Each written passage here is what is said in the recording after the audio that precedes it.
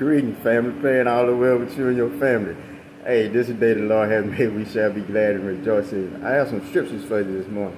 2 Corinthians 4, 4, 7, 8, and 9. Verse 7 says, We have the treasure in the earthly vessel, that the excellence of the power may be of God and not of ourselves. Verse 8, We are hard pressed on every side, yet not crushed. We are perplexed, but not in despair. Verse 9, Persecuted, but not forsaken, struck down, but not destroyed.